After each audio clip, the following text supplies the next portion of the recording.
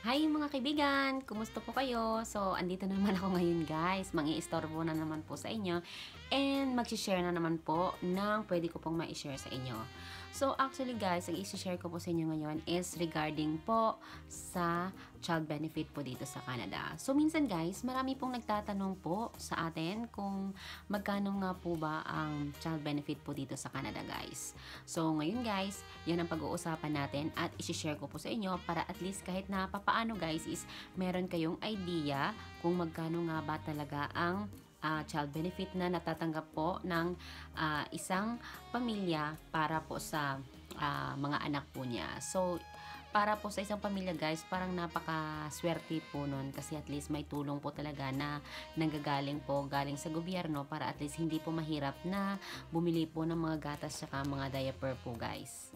Alam niyo naman guys, minsan para sa isang pamilya, syempre pag may mga anak ka guys, dapat minsan priority mo talaga yung mga bata kasi syempre yung mga gatas, tsaka yung mga diaper, kailangan bibilhin mo na po. Tapos minsan syempre dahil inuuna mo sila guys, ikaw mismo sa sarili mo, hindi mo na rin mabili yung gusto mo.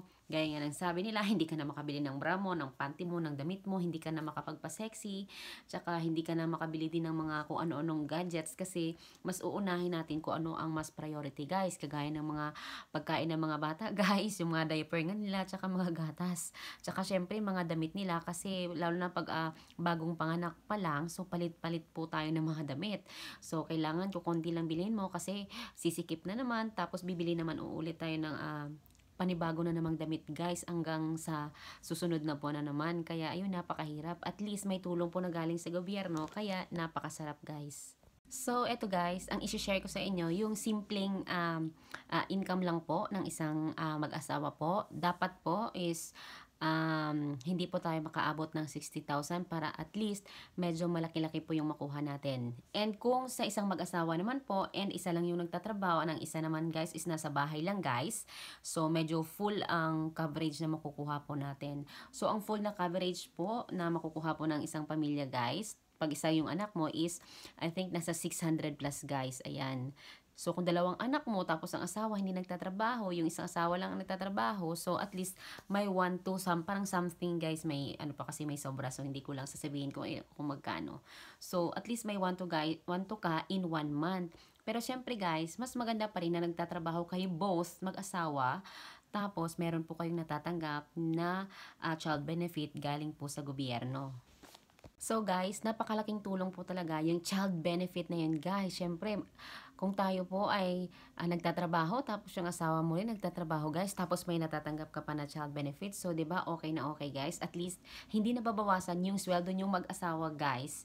Tapos, meron pa kayong uh, separate na income galing pa sa mga bata. So, yung sa mga bata, kung hindi naman po guys maubos, syempre, additional ipon din yon So, at least, makakadagdag po talaga ng ipon po sa atin guys. And napakalaking tulong po talaga. Kaya, uh, ang masasabi ko lang, napakamaraming salamat po talaga sa government, sa government po ng Canada kasi po at least meron pong tulong talaga na ibinibigay sila from uh, the day na ipinanganak po yung anak mo guys hanggang sa mag 18 years old.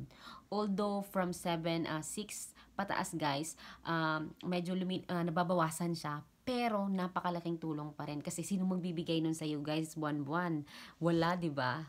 So, ayan guys, shinare ko na sa inyo kung magkano nga ba talaga ang child benefit dito sa Canada.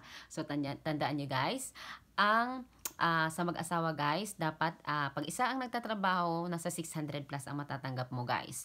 Ayan, pagka uh, dalawa naman nagtatrabaho guys, medyo mababawasan yung konti guys. Tapos i-compute yun guys kung magkano yung income nyo. Pero dapat nasa low income po kayo para medyo malaki pa rin yung nakukuha nyo guys.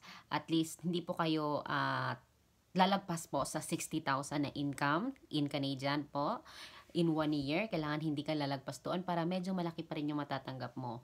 Kapag ka lumagpas ka ng uh, ah, 60,000, medyo liliit siya, mababawasan, sa, uh, mababawasan siya, pero hindi naman po siya as in napakalaki talaga yung mababawas. Pero at least guys, meron pa rin kayong matatanggap and napakalaking tulong pa rin po talaga yon para sa isang mag-asawa para sa financial income po.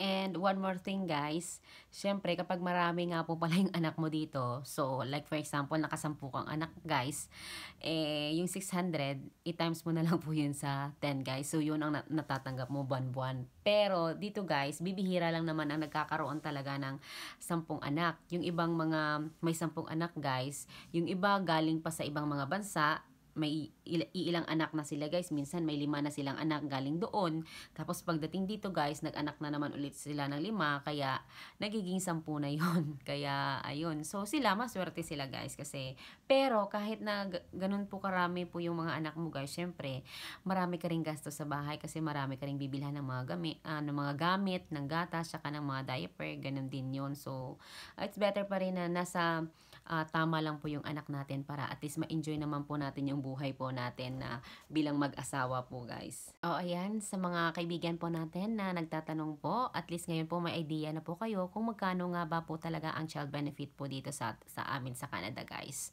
At least na-share ko na rin po sa inyo, at least para malaman nyo rin po na meron po talagang tulong po na nanggagaling po dito sa po sa gobyerno po namin para matulungan po talaga yung uh, pamilya po, especially yung mga nasa low income guys.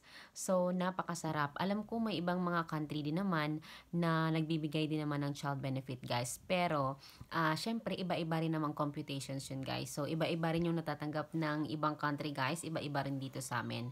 So, yung isinare ko po sa inyo ngayon, yun po yung child benefit po dito sa Canada. So, hindi ko na ibibigay yung kumbaga exact talaga na amount guys, at least na i-share ko lang sa inyo yung parang simpleng amount lang po para at least may idea po kayo na meron po talaga kaming natatanggap na child benefit. Oh, ayan guys, at least na-share ko na po sa inyo kung um, totoo nga po bang meron po talaga kaming natatanggap na child benefit po dito para po sa mga bata. At least guys, nasabi ko na rin po sa inyo kung magkano po yung amount pero hindi nga lang po talaga exact kasi nakadepende din naman po yun sa income po uh, natin po guys. So, sa mga kaibigan po natin na hindi pa po nakapag-subscribe, sana po mag-subscribe kayo guys. And click the bell button guys para at least ma-notify po kayo sa next na video ko guys. Sa mga nanonood po sa atin ngayon guys and nakikinig po, maraming maraming salamat po. And uh, good luck po sa ating lahat guys and have a nice day. Bye-bye!